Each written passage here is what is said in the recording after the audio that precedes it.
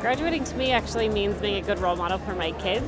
A better life for myself. First generation, so I'm here. I'm really doing it for my family.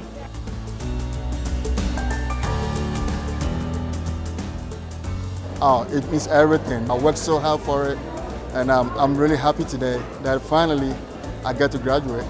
It means a lot.